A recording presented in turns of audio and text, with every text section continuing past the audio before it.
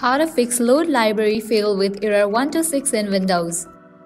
Let's get started. Heading towards very first solution, click on the search box and then type in command prompt. Once it appears, click on it and click on the option of run as administrator.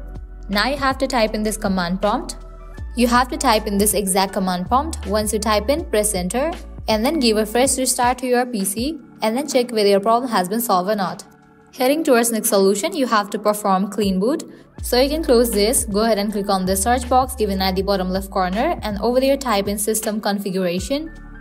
After it appears, click on it. Now over here you will find different sections. Here towards the section of services. Now check in for this option hide all Microsoft services and then click on this option of disable all. Once you do that you can check whether your problem has been solved or not. Likewise, heading towards next solution, close this, head towards the search box and then type in run. Now click on the app. Now type in devmgmt.msc and click on OK.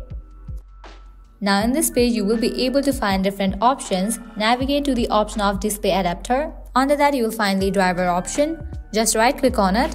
You will get different options. Click on the option of disable device. Once you disable it, you can check whether your problem has been solved or not. Now heading towards very last solution, again click on the search box and then type in command prompt. After it appears, click on the option of run as administrator. Now you have to type in this command prompt sfc forward slash scan now and then press enter. Once you do that, you can give a fresh restart to your PC. Applying all these solutions, your problem will be fixed. So this is how you can fix load library fail with error 126 in Windows. If this video was helpful, don't forget to like, share and subscribe to our channel. Thank you.